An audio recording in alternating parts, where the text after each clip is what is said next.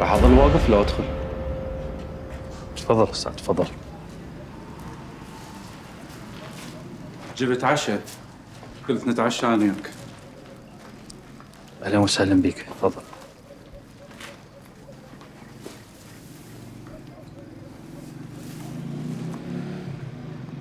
أنا أكثر واحد فاهم وحاسس اللي تعيش. شلون؟ أنت تعرف أنا كاتب وكاتب روائي والكاتب يهتم بأدق التفاصيل. وهذا شنو علاقته باللي أنا بيه؟ شلون ما له علاقة؟ له علاقة ونص.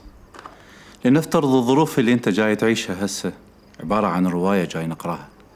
وأنت تعرف الرواية لازم لها بطل. صح؟ صح. وهذا البطل لازم يعيش ظروف كلش قاسية. تطحن عظامه طحن. ولازم نعرف شنو الدافع وشنو الأسس اللي خلته يقاوم. مثل ما نشوف بالأفلام والمسلسلات. بس أنا مو بطل. دحج منصور. الحياة هاي عبارة عن رواية. وكل واحد بينا هو بطل روايته. والرواية والحياة شئت أم أبيت إلها نفس النهاية. إذا ظليت حبيس هاي المكان وحبيس أحزانك كل اللي أقدر أضمن لك إياه راح تشعر بالندم.